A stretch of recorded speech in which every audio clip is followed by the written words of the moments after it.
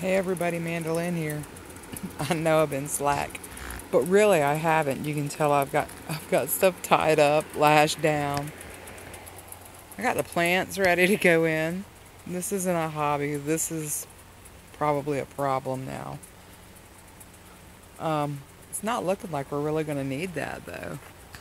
They're calling the worst I saw for the winds was to be like in the 30 mile an hour, 30 some mile an hour. We got a little bit of thunder going on. So right now it's a tropical storm. We probably got a few mile an hour wind coming.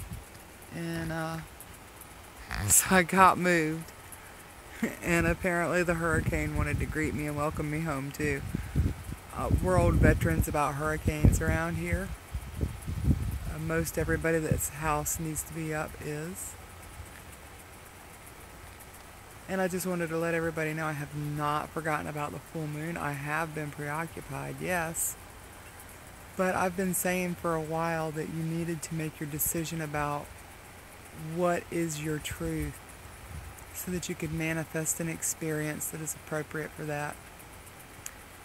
In this storm, you know, it, it threatened and everything else. We thought that it was going to be a little worse, and hopefully it stays down. But um, I manifested an experience where I am at peace and, and I am in right relationship with the elements.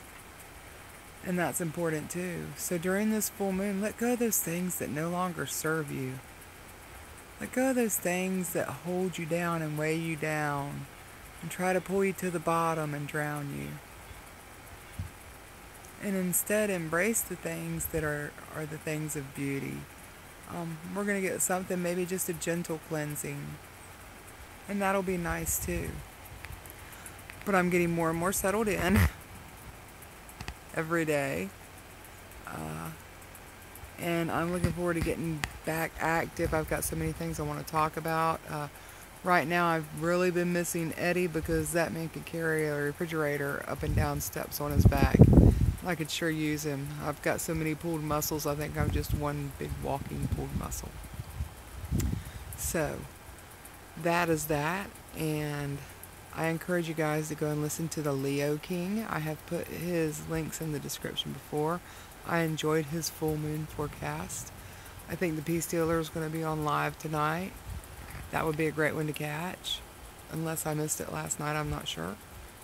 And until I see you on the next time, take care of yourself, set your path, create and manifest your experience.